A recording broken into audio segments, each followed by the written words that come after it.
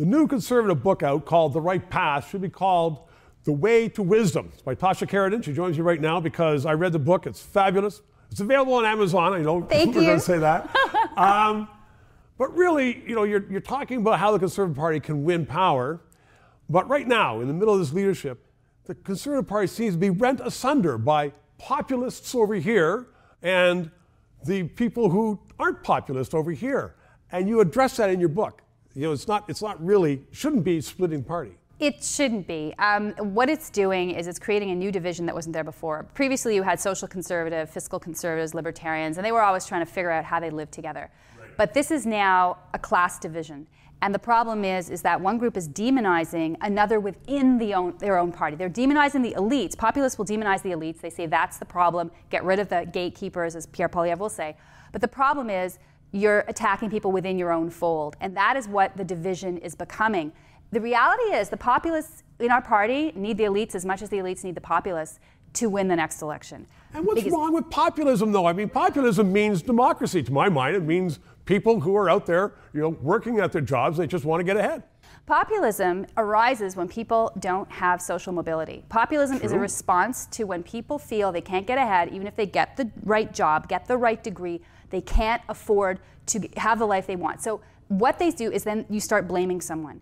And in this case, Off you're blaming their heads. blaming yes, exactly, blaming the elites. Um, on the other side, you have identity politics, woke politics. I talk very much about that. How populism and wokeism are essentially, you know, two sides of, of the same coin. Yeah. They both say that somebody's getting favors somewhere, and it's unfair. What we need to do is come back to the conservative principles of basically small of community decision of local decision making, the platoons of society, like the family, for example, and equality of opportunity. Because when people think that the game is not rigged, they don't turn to populism.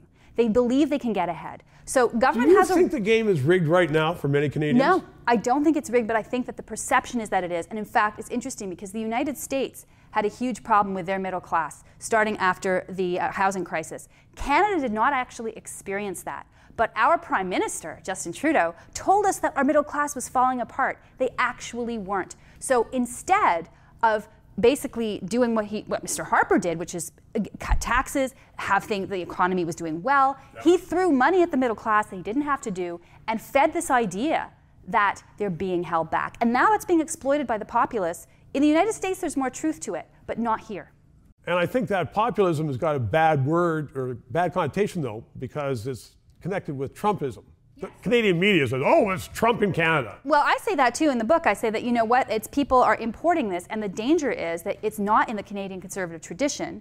And it also makes people very uncomfortable with conservatism because they equate the two. And there are people who will not vote conservative if they think that it's a party that is aligned with that view. The, the, you know, the soft liberal vote or the blue liberal vote that is right now very unhappy with the merger or the, or the coalition rather that Trudeau has they are accessible to the Tories. So the Conservatives have to go there and not veer too far to the populist right. They all have to read your book, The Right Path, available on Amazon. Thanks, Tasha. Thank you. Three minutes.